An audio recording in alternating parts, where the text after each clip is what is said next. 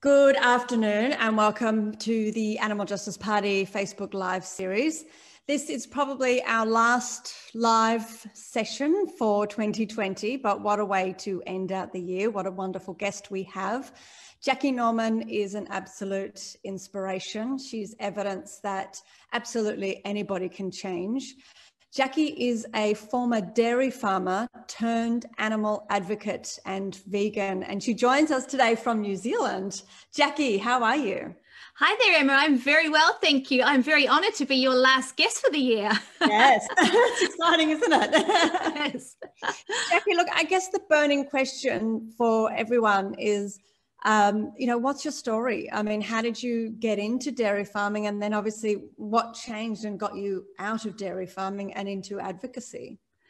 Wow, where do you start? Um, well, it all started when I was 19. So I, I grew up in a, a, tiny wee village in Hampshire in the UK and um, pulled a very classy move when I was 19. I ran off to New Zealand with a, a Kiwi barman and uh, I didn't have a work permit or anything like that. It was all quite spontaneous and, and nobody thought that I would last out over here.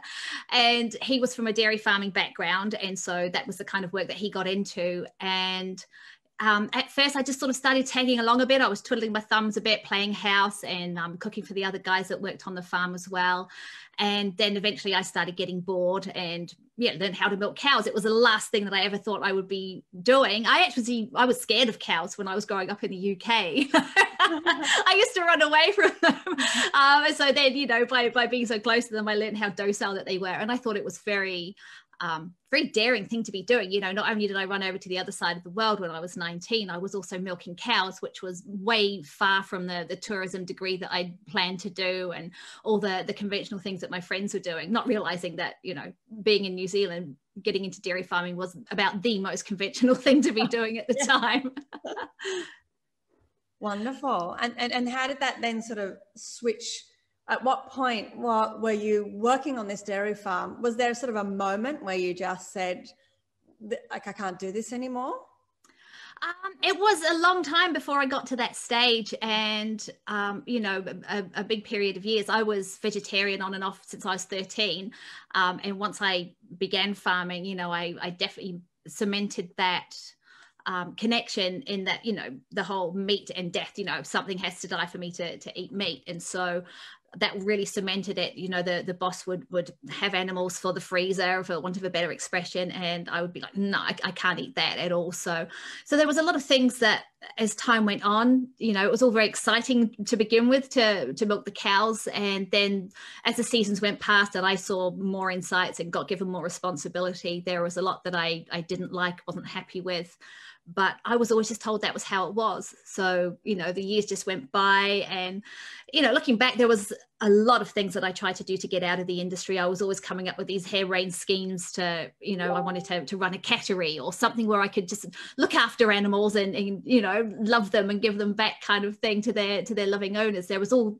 always some kind of plan that I was trying to hatch to get out of the industry. But um, you know, I ended up marrying into the industry and it was it was the, the thing to do at the time you know it was a very secure kind of career you know when i came over here I didn't know anybody really that wasn't in the industry because it was seen as a very wholesome thing to do. It was a whole clean green, you know, we're the backbone of the country and it was very secure. You know, everybody wanted to climb the ladder. Everybody had those goals of one day owning their own farms. And so I was always yeah, I was told this, was how it is. You know, this is the most secure job that we're going to get. This is the most money we're going to be able to make, and, and all of those things. So, yeah, it, it took a long time to get out. yeah, yeah, no. What sort of, um, I guess, practices in the dairy industry did you find most confronting, or what kind of led you to start to change your mind about about what was happening? I think it started quite early on, uh, probably my first calving season. That that was my first real taste of it, I suppose. And up until then, you know, I, I loved milking the cows. I was singing to them, you know, I chat to them and uh, gave them all names and that kind of thing. Um, and yeah, thought it was a great thing to be doing. Like I said, thought it was very wholesome. And I didn't have too much of the day to day running at that point. But there was one afternoon in the first calving season that I came down to the cow shed to see my partner at the time and, and the rest of the guys working. And there was this tiny wee little Jersey calf just sitting on on her own in the concrete I didn't have mum or anything around. And uh, I said, "Oh, is, is, that one I can feed? Are you going to feed her after milking? Can I feed her?" And it was it was the owner's job at the time. And he said, "Oh no, no, no, I'm, I'm going to bop that one on the head after work. You know, she's not worth anything. She's too small to even go on the truck." And I said, "What do you mean she's not worth anything? You're going to hit her on the head. Why are you going to hit her on the head?" He said, "Well, look at it. She's too small. She's not going to fetch me any money." And this is, I actually found photos of her. Oh, wow. this this is her at two weeks old. I don't oh. know if you can oh. see, yeah, how how yeah. small she is. So that, that was at two weeks, and um, so you can imagine how tiny she was. And she was just so perfect. There was nothing wrong with her, and she just looked so beautiful. And you know, I must have just flooded my eyelashes right and said, please, please, you know, can I have her? We've got a garden, we've got grass that needs eating, you know, I'll look after her. I didn't really know anybody at the time. I didn't have many friends or anything like that. And um, he thought I was quite crazy, but he said, "Yeah, all right, you can you can have her for thirty bucks." So I took her home and taught her to feed out of a bucket. And um, this this is her here. This is at eight weeks old, oh, and um, oh. her, her, name was Suki, and she was my friend, you know, and we we bonded uh, big time. And I used to, you know, we would lay out in the in the sun together, and I'd be reading a book, leaning up against her in the sunshine, and yeah, so she was the one that I really had the most to do with that first year because I wasn't responsible for for feeding cows and that kind of thing apart from Suki. And it was only the second year when we left that farm and we went to other farms that I got given more and more responsibility and that was when I became a lot more yeah hands-on and saw what went on and that was the time where you know I realized that yeah, you, you had to take the calves away from their mothers. And it sounds really stupid now because I can imagine people would be watching this and thinking, how can you think that's okay? And I didn't think that it was fine. You know, I, mm. I, I hated it. It was awful. Mm. But, you know, I was told that was how it was. And I was impressionable. I was around a lot of people that, you know, I was just being constantly conditioned. And although I didn't like it, from my perspective, I was the one feeding the calves and having looked after Suki, this this little one that I showed you, you know, I I knew I patted them all, I sang to them all, I talked to them all. So mm. for me, you know, I, I knew that I was going to look after them. I wasn't looking at the big picture. I wasn't really looking at, you know, the ones that I did look at the ones that going on the Bobby, Bobby truck. That's another story though. But yeah, all the ones that were in my care, I thought, you know, you're okay with me. You're, you're safe. You're warm um, you're fed, you're cared for, you know, I'm nice, all of those things that we tell ourselves, you know. And so I was sort of saying, oh, it's okay, girls, you know, I'm going to look after your babies. I know that they're fine with me. And how in God's name I ever thought that I could possibly replace their mother, you know, I couldn't, I couldn't nurture them or keep them warm at night or i couldn't speak their language we're of the same species i mean it, it's like it's like trying to get a sheep to raise a human you know like mm. poles apart but somewhere along the line we decided that that was okay and that humans would do a really good job. And so yeah i i used to i used to have to be the one that was on the motorbike you know and the cat the cow would be running behind and it was upsetting. It was really upsetting but I guess for me, I kind of thought, right, well, once they get into the barn, I know that I'm going to look after them. And like I said, you, you don't look at the big picture at, at, what's going to happen down the track, or, or if you do, you try not to think about it too too much. So um, the Bobbies were a, a different story. Um, mm. that, that was always awful. That was always heartbreaking, and I think they've changed it a bit now. Like um, because there's been such an outcry about Bobby calves. So when I was farming, um, or up until certainly recent years, you would have these big crates by the side of the road at, at, the farm gate. And so it was very easy for the bobby truck, you know, the, the calves would get fed in the mornings and then they get taken down, put in this pen. And twice a week or even three times a week, sometimes the bobby truck would come along and, and pick up the calves. And I remember the the house that, that we were in for, for some of those years, they overlooked that pen and I'd be sitting there trying to have my breakfast in the morning and just crying, you know, to see the truck come along and the calves just get thrown into these trucks. Mm. And, you know, you're not supposed to do that. You, you, see it all in the media about, you know, the way that these calves get treated and they get thrown in. And I witnessed it so many times because, you know, on a, on these mornings, there are hundreds of calves that are going into these trucks. And so the drivers just get over it. I mean, I, they just yeah they just want to get the job done get the get the calves in and on their way and so you know you see so many instances that you hear of of, of calves being trampled being injured and not being in in too good a state when they arrive you know and yeah, I used to cry so many times, you know, for years, at least twice a week, I would just sit there crying. Um, and yeah, every time I just got told, well, you know, that's a shame. Yes, it's sad. We all know it's sad, your soft hearted thing, but, you know, this is how it's got to be. And so I think this is why so many people, you know, these days I think the bobby pens are hidden because there was such an outcry that upset so many people to see these beautiful little animals just like Suki that you know there's nothing wrong with them um, getting taken off to the slaughterhouse. So these things are becoming a lot more hidden. Absolutely. And uh, you know you, you've kind of detailed the separation with the mothers and you've talked about the bobby calves what are some of the other animal agribusiness practices in the dairy industry that, that many people probably aren't aware of that, that actually happen um, oh God, where do you want me to start? There are there are a lot of things. There are things that are uh, you know um, taken as, as, practice, and then there are other horrible hacks and that kind of thing. So, um, yeah, they there are things like you hear of, of, cows having their tails broken, that kind of thing. Um, I yeah, I heard a lot about that. So um, you know, my partner never ever did anything like that, but um, there were people that I worked with and um, employers that I worked for as well that were always breaking tails. Um, there were things like um, there's a, a, share milker of the year over here who recently had his award stripped from him for tweeting about a practice, and it was about to get cows to let down their milk, and so you know, he he boasted on social media about how oh to get the cow to let the milk down, you just get a pipe and shove it up her and and yeah. blow sharply into it, and um, you know that that will that that works every time. That'll get her to let her milk down.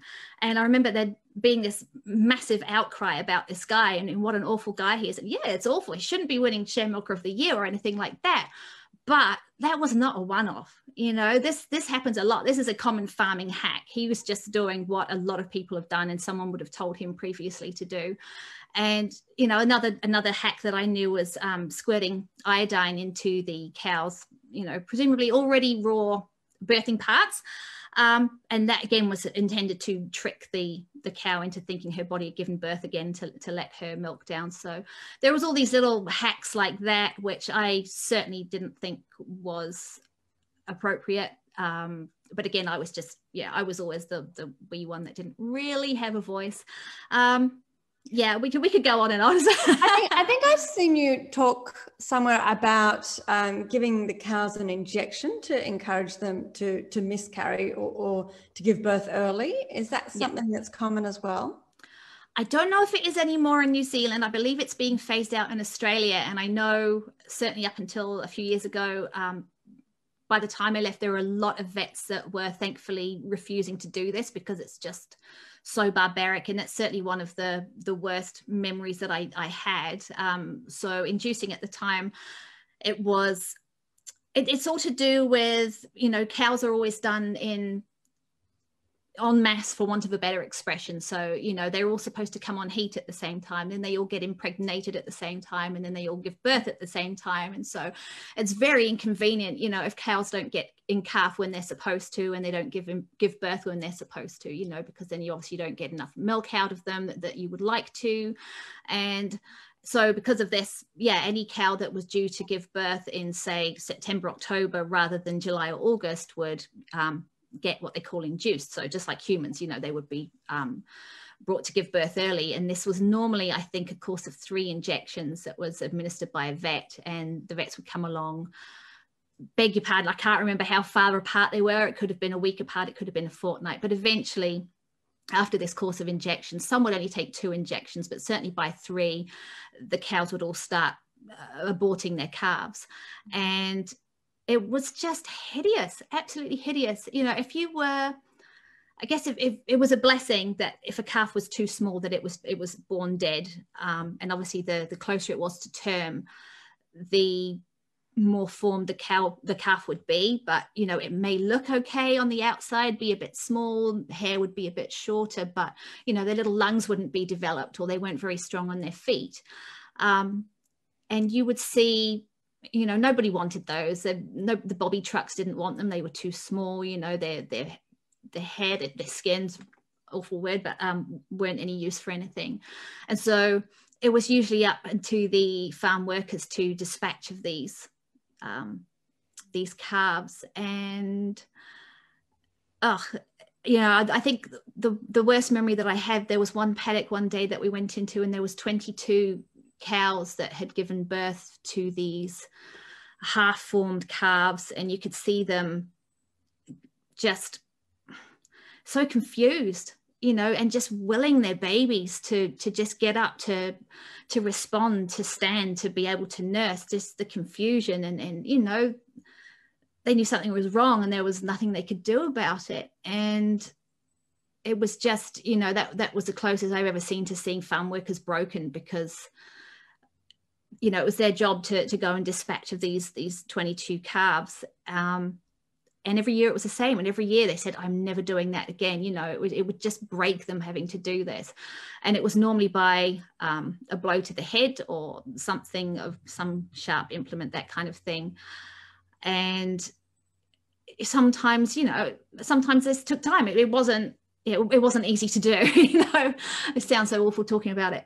Um, but yeah i think I, I mean, yeah, by the time I left, you know, I get a bit lost for words remembering that because I just remember seeing that hill and seeing those cows and calves and just, you know, and for these these animals to these mothers to have someone come along and, and kill the babies in front of them, you know, they know something's wrong, but they've just they've got no control over anything in their lives, really, no control over anything at all and that's and that's part of it isn't it i mean that's part of the main issue with dairy is that that any mother that's stuck in these industries that just total lack of control over their own body and obviously control over their own young um, i think that's almost what's the most confronting about all of it it's just that all of that's been taken away yes. let's let's talk about something a little bit lighter because I know I've been dragging you through that.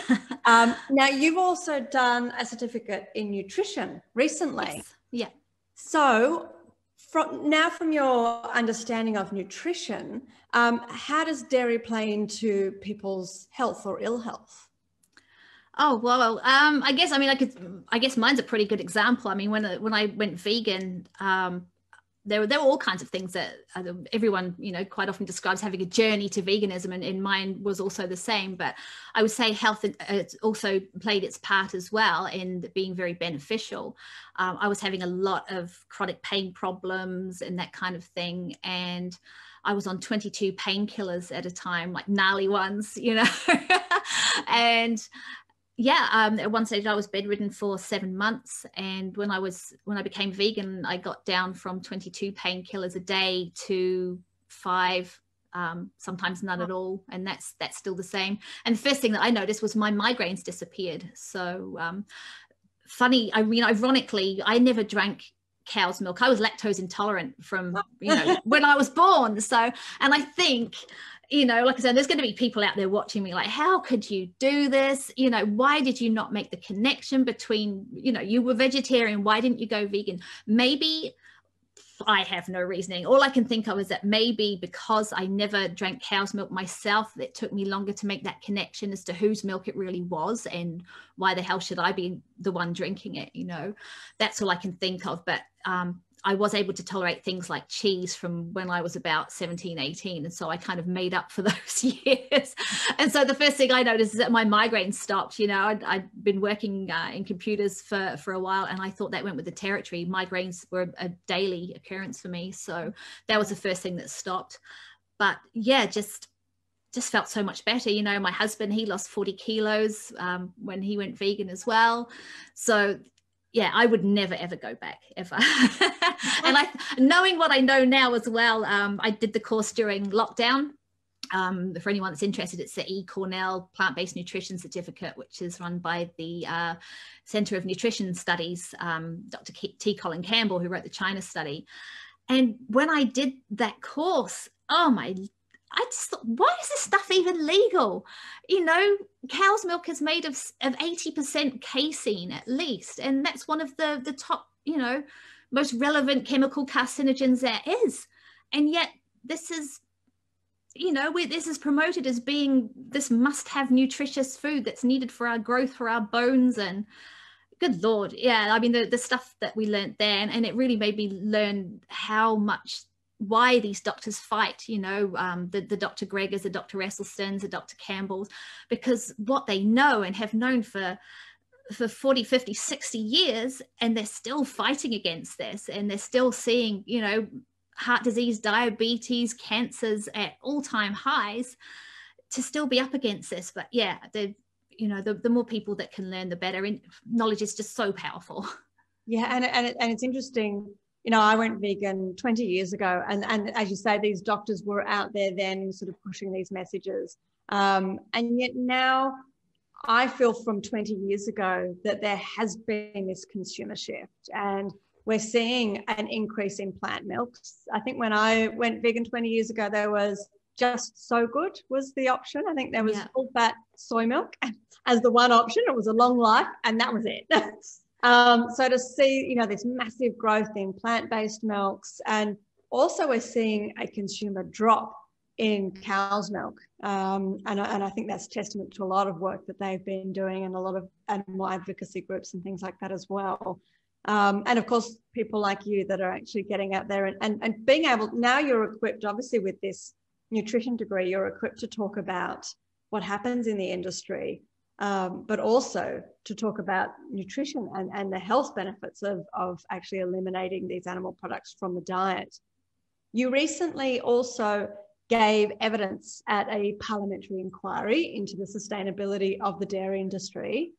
And it was interesting, after um, we had you in, actually, another member of the committee came up to me and said that he was quite moved by by your story and all the evidence that you gave at the inquiry. And he said he went home and told his family about it over dinner. Do you find that you often get that kind of reaction? Um, you know, you're you're able to come from a very different angle than other people that are just sort of putting forward facts.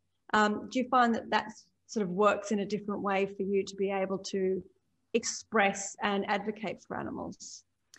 Yeah, yeah, definitely. Um, that's so nice. I got that feedback. I, I, had a message from someone in Australia that was watching as well. And she said, My family and I were cheering at the TV, you know, with everything you were saying. So that was really cool. Um, and yeah, yeah, I do get a lot of that. You know, there are more of us uh, that are coming forward, which is fantastic. And I, I was really nervous about um, giving evidence, but on hearing the speakers before me it actually made me feel really empowered to go in there because i i was coming from a different angle and i did have different insight and experience. And i thought you lot can't pull the wool over my eyes you know? Sorry guys if any of you are watching. Um, but yeah I, I found it very empowering experience. I think one thing which probably made a difference which they probably didn't expect as well was um, you know i revealed in the inquiry that not only was I an advocate from uh, you know having dairy inside experience. I wasn't just this this weedy vegan that you know never got her hands dirty and and didn't really know anything. You know, I, I had that side of the industry with me, um, but also you know I'm actually a mother who has lost a child, so that's something that you know i've got a pretty what with my dairy background and, and what with actually having lost a child having given birth to a child and have him pass away two days later I know what that loss is like, and I think I was, you know, I was able to relay that somewhat in um, in the hearing, and it's, you know, you, it's a, it's so hard. I guess one one good way to put it. The other night, I was talking to a friend of my mother's, and he's in his 80s, and he's Australian, and he is, you know, he's been around a while, so he's he's pretty he's pretty opinionated on everything from rugby into farming and he's been around for a while. So he knows a lot about lots of things. And so we got into this discussion about veganism and, and why you know um, but surely you know cows are, are more ecologically sound you know it's, it's better for the planet that than we you know grow all this these crops you know even though we're feeding what 98% of them to our animals in the first place so we were getting into all that and um, my husband was starting to get a bit sort of head up because this guy wouldn't back down, you know, oh, but I got an argument for everything. And in the end, I, I spoke to him about what happens to cows and how their babies are taken away. And I said, I know what it's like to lose one child, to have one baby, you know, taken from you. You, you know, someone take him away. Um, it's actually 26 years ago this week, so uh, we shared the same birthday, and you know, it's it doesn't get easier. You live with it, but it's just how it is. You know, I, have got this saying that uh, I don't think life gives you any more than you can handle. You know, so these these things happen for a reason. But you know, I know what it's like to have someone take my baby away forever, and even though I knew what happened to him, and you know, I, it was still felt so powerless. There was absolutely nothing I could do. Nothing would bring him back. But I knew that everything that was done for him that that could have been done for these cows they've got no idea you know apart from the ones that have their babies murdered in front of them they've got no idea where their babies go you know 26 years later i'm still wondering about my son you know what would he look like now what if things have been different where is he what's he doing you know and for me i went through that once and that was the worst thing that could possibly happen I think, as, as, far as I'm concerned, you know, in, in my years on this planet, it's the most horrendous thing. It's something that that scars you and is always with you. You learn to carry it, but it's always with you. But for me, you know, once was bad enough. For cows, we're doing this year after year after year, and people still don't realize that you know cows are like humans in that they have to carry their babies for nine months in their body and feel them moving and give birth to them which is no blooming small thing you know and then we just come along and take their babies year after year and i know a lot of vegans that um, I've spoken to and, and, activists as well, which I guess is another reason why I'm glad to have this insight. You know, it, it, seems to be a thing that they say, oh, cows get milk for, for five years and then they go down and, and then they get sent to slaughter? Well, for one thing, if a cow can't get up, she's not sent to slaughter because she has to be able to get on the truck. So, you know, over here you just end up as, as pet food or something like that. But um, yeah, there's this perception that cows only get to live until they're five years old. I knew many cows that were 10 years old and in fact you know i knew i knew one cow in particular that um, was 16 years old when she finally went on the truck and you know considering the first cow gives birth um, at two two years old roughly um, that was 14 babies she had taken away from her and so you know, it's no wonder they look so downtrodden, and so depressed, and so wretched. And so somehow, after a few wines and getting a bit fired up with this this 80 year old chap, you know, I put all this out there to him. I said, look, mate, this is what it's like, you know, and this is what we are doing again and again and again. And even now, people your age are not realizing that, you know, this has to happen for you guys to drink milk. And he just stopped and just looked at me, you know, dead in the eye and said, I've never thought of it like that. Mm-hmm. And I mm. thought, you know this is why i'm doing what i'm doing. This is this is what i'm here for you know? So so yeah that's a long long-winded explanation but yeah i guess i've got a pretty unique perspective in in both of those areas. Yeah and and and thank you for your for your raw honesty and for for sharing such a personal story with us. And i know that there'll be a lot of people listening that totally relate to you jackie as well. And are just so grateful that i can't imagine how hard it is. I mean, you're sort of, you know, you kind of hinted like there's probably people watching thinking, how could she not know? But I think that probably most people that are watching are just so grateful that you have the courage to talk about what you did and how that's changed you and why and what's actually happening inside this industry because i think that there you know you've talked about sort of this stiff upper lip um, attitude and it's the same in australia as new zealand and you know, it really is forced on people within these industries to turn a blind eye, um, to not think about it, to, to realize that that's life. Um, and it takes a very strong and brave person to actually step away from that and say, actually, I'm not okay with this. Um, and I'm going to advocate against it. So thank you. Um, the question at our New South Wales inquiry was Is the dairy industry a sustainable industry? So my question to you is, is it a sustainable industry? And if not, why not? No, I don't believe it's sustainable at all. I mean, um, I've worked, you know, it's, it's, something that I'm learning more about all the time. But, you know, as, as we said before, you know, the, the vast majority, what 90 something percent of, of all the, the crops that are grown, the soy and the, um, yeah, particularly soy. We, we always get told that you know all the humans are, all you vegans are eating all the soy. You know, it's grown to feed animals. You daft things. you but you know, it's not it's not getting out there. It's not until you start digging and until you yeah start waking up that you you learn more and more about this kind of stuff. But yeah, I mean, when I was working on doing the submission for for the inquiry, um, just looking into New Zealand alone, I think, well, we, we pay something like the, the millions, not, not just millions, but billions of dollars in subsidies that are paid over here in New Zealand into propping up the dairy industry. You know, it's it's promoted as being the lifeblood of New Zealand, but that's not the case anymore. You know, we're not animal agriculture. The dairy is not the number one industry. Um, you know, it's barely in the top 10. And if it wasn't for the billions that get paid every year in subsidies by our government in propping up the industry and cleaning up our waterways, it wouldn't exist. You know, I think it's something like two thirds, even three quarters of our native fish in New Zealand are threatened with extinction because our waterways are so bad. You know, our rivers, our, our swimming holes, they're not safe to swim in. We've got one of the highest, if not the highest rate of colorectal cancer in the world, um, you know, directly because of these yeah the nitrogen and all of these these bad things that are they're leaching into our waters um if you look up a, a French- nitrogen coming from from the dairy farms yeah because uh, you know the, the fertilizer is, is so uh, the application is so heavy. And um, you know for example if you look up dr mike joy he's one of my my favorite people.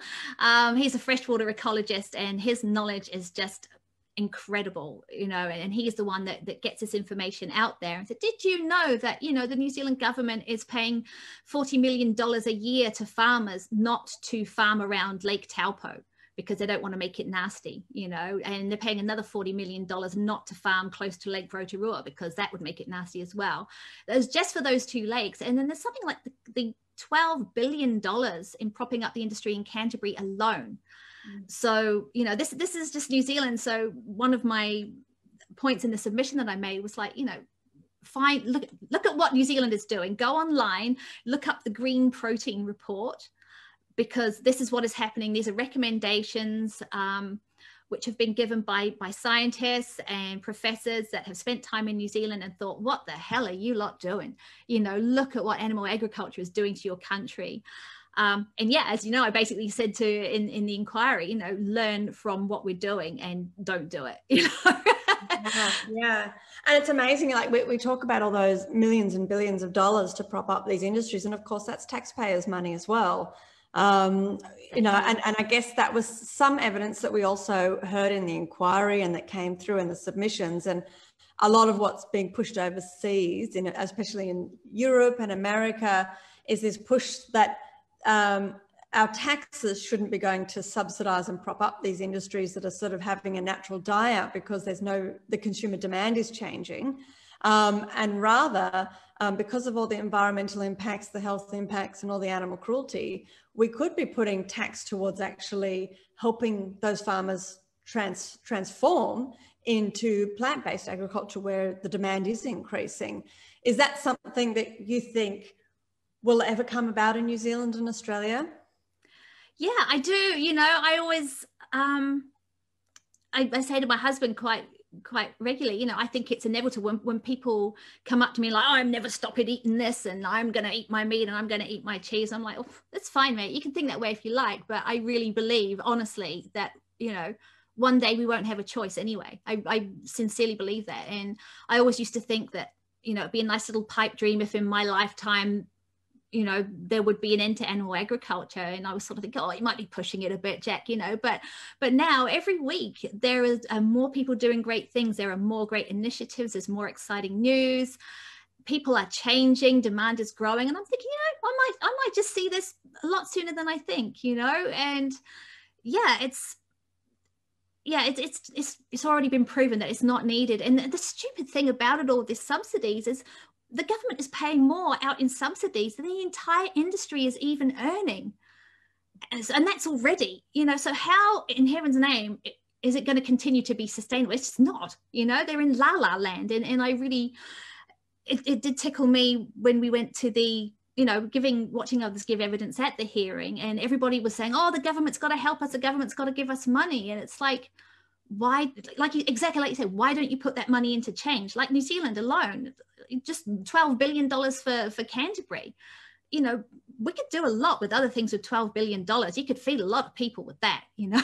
yeah, absolutely. It's scary when you think about it, isn't it? And the numbers that are being thrown around. Now, Jackie, you've also created a whole lot of vegan resources. You have your own website and a vegan cookbook. Can you tell us a bit about those? Yeah, it all came about when uh, when my husband and I went vegan. We were living on the road in a tiny wee camper van called Ken. Uh, he's a Mazda Bongo, so he's kind of like a tradies van, you know, to, to the most people would think. So yeah, it was 4.6 meters long and 1.6 meters wide, and um, yeah, I went vegan. It was actually a, a petition that I, I can I share this story. Is this all right if I share yes, this? Please. So the real catalyst for me going vegan was um, I see a lot of vegans all the time saying, "Oh, you know, nobody likes my Facebook posts. I'm, I've got all this stuff to share, and nobody likes, you know, nobody's rushing to like my posts." It's like, well, they're not going to, are they? No one's going to send a love heart to animal cruelty or something that's that's awful. And I had a friend um, that had been vegan for 25 years, and every day she was posting on her Facebook, and it was always these these things that I didn't want to see and uh, it was always sad things and quite often it was first thing in the morning and i'd be like oh, i don't want to see that first thing in the morning scroll scroll scroll you know and i mm. seriously thought about unfollowing her um, much as you know she was my friend lovely person but i thought oh no you're just ruining my day day after day but anyway one day she uh, asked to sign this uh, petition and it was all about banning farrowing crates in new zealand for mother sows. And so I thought, oh, well, right then, you know, you've got to me this time. I'll click on this. I'll be a nice person, sign this petition.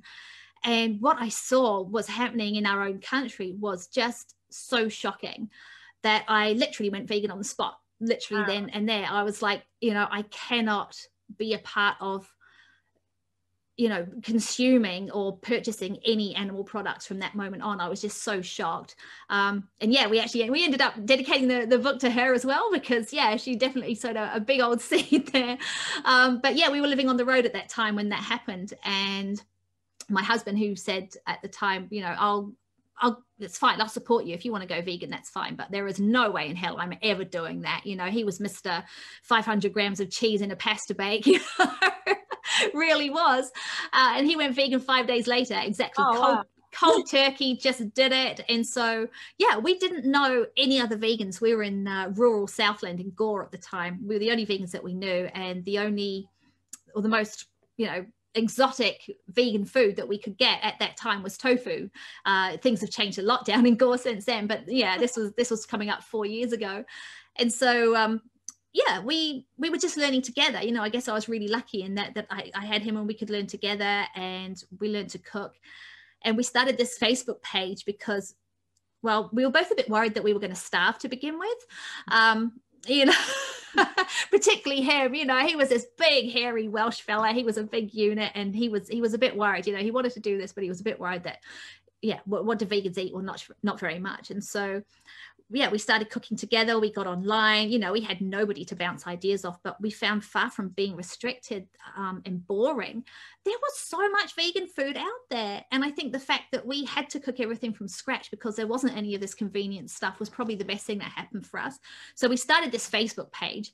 Now my Facebook page is a bit, a bit different. You know, I don't care. I'll talk to all and sundry about veganism. And but at the time we were like, mm, well, you know, we're very excited about being vegan and we're, we're you know, learning all this great stuff, but you know, we, we don't want to upset our friends or bore them saying, hey, look at my dinner. So we started this this Facebook page, Campervan Kitchen, and we just started sharing the things that we'd learned, um, uh, yeah, little tips for the day as we went, and the recipes that we were doing.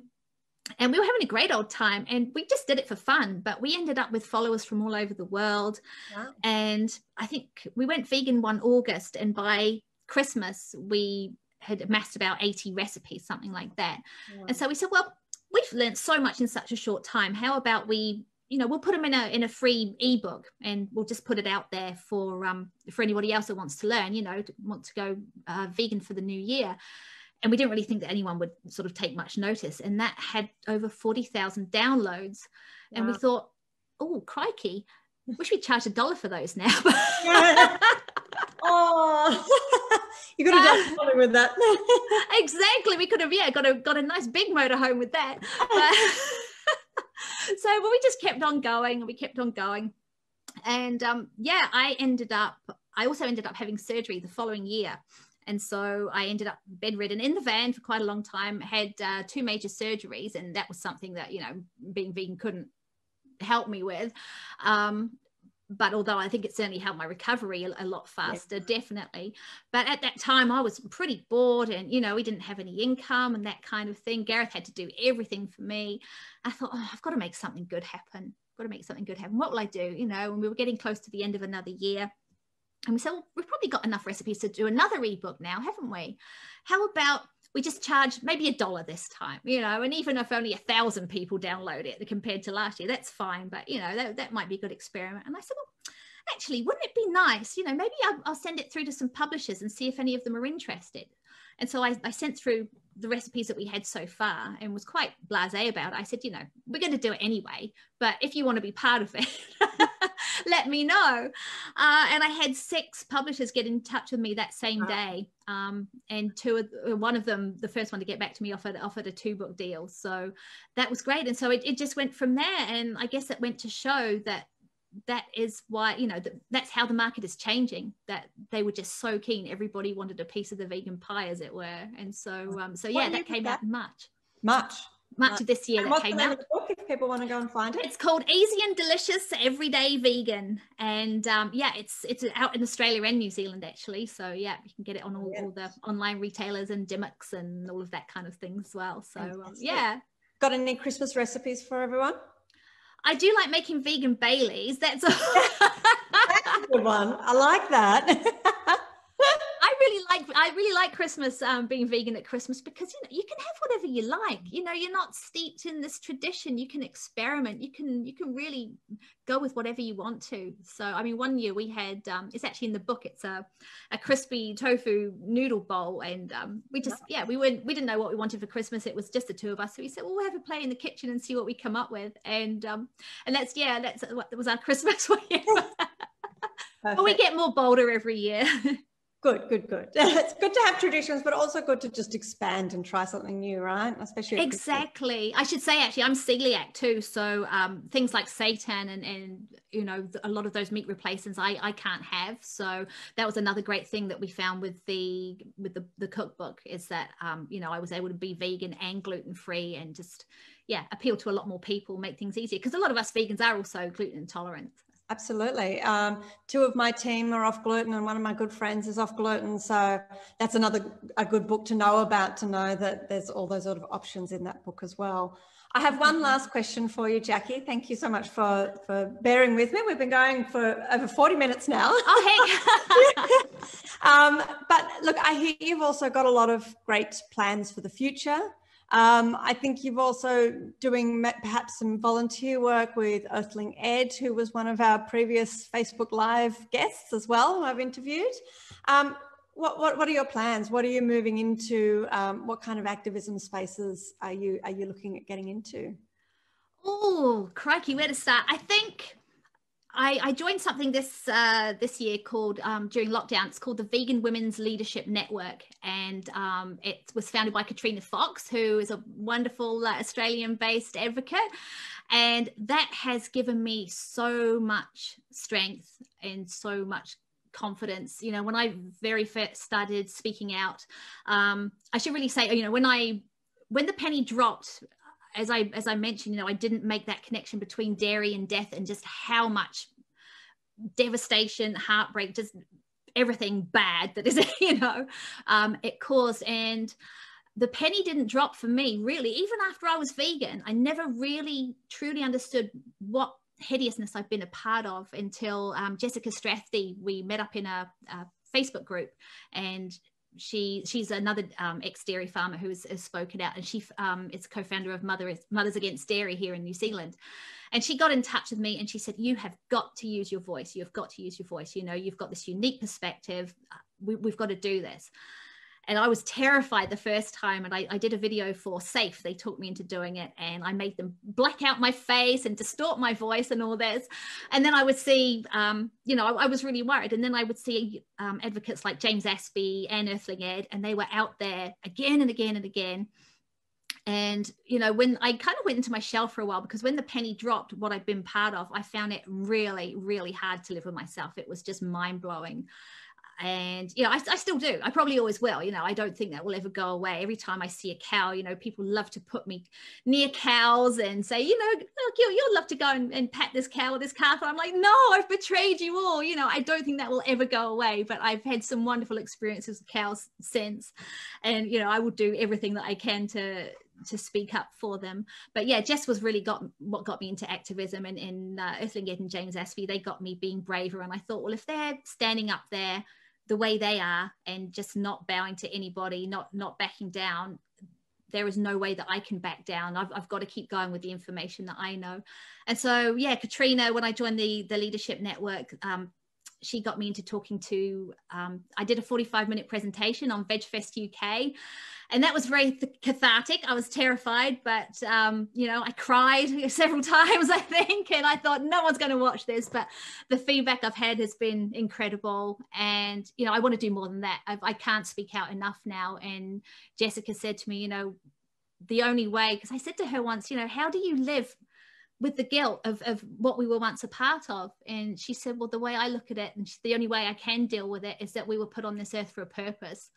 And we got this insight and this experience for a reason, and, and, we've got to do something with it. And so that's really what I want to focus on. And so, yeah, like you say, I've been um, volunteering for Earthling Ed with Surge, I've been doing some writing for him.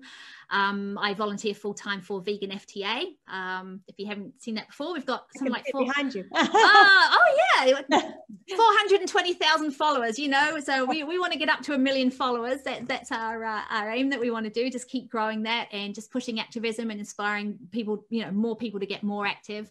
Um, because with me, you know, having a, a chronic illness as well, that was how I I found more diverse ways to get into activism. So if you haven't been to Vegan FTA, shameless plug, uh, go and check it out. Check out our activist series because it all came about from people like myself who've had chronic illnesses and you know we can't all be on the front lines. We can't all be doing vigils and cubes no matter how much we want to but it doesn't mean that we can't be active or that we shouldn't be active. And so that's what we're all about.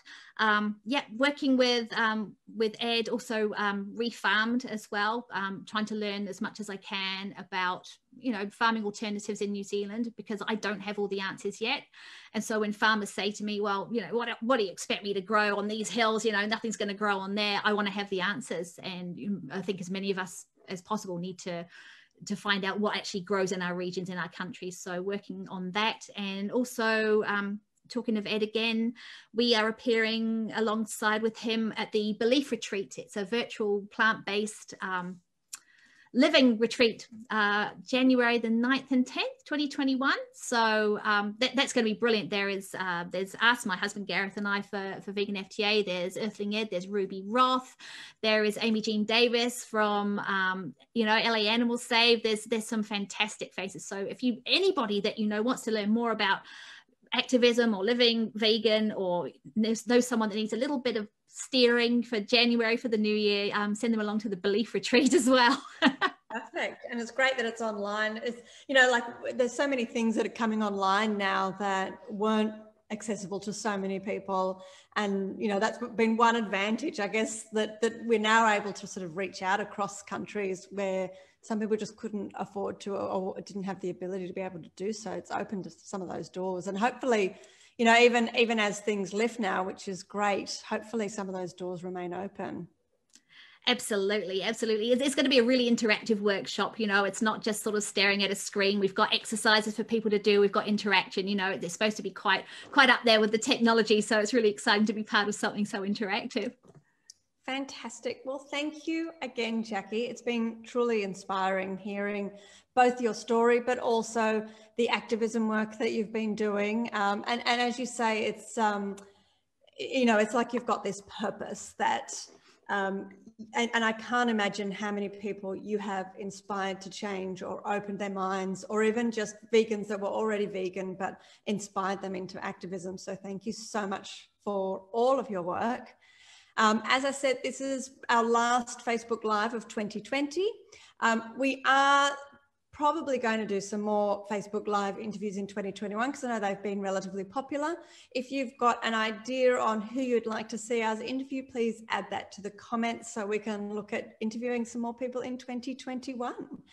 Thank you again, Jackie, and thank you for everything you do for animals. Thank you so much. And thank you for everything you do for animals.